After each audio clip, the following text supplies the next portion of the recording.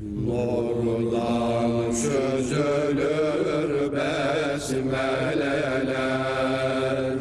Bezmi seherde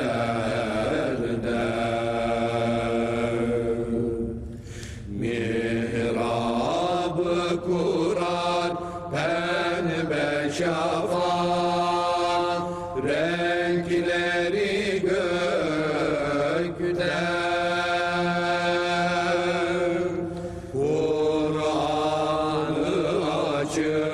bir bir okur Mümini hilkar.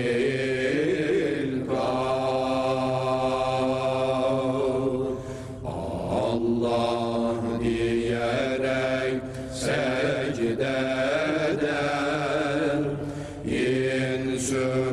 eder